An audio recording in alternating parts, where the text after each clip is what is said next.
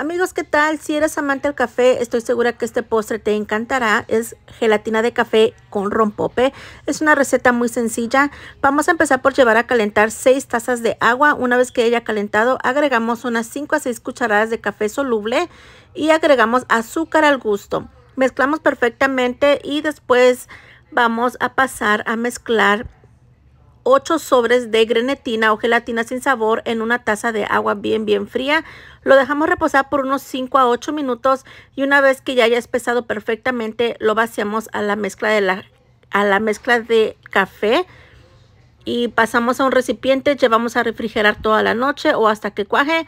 Cortamos en pequeños cubos o cuadritos ustedes pueden cortar a la medida que ustedes gusten y después vamos a pasarlos en vasitos y agregamos el rompope. Perfecto para mesa de postres y listo.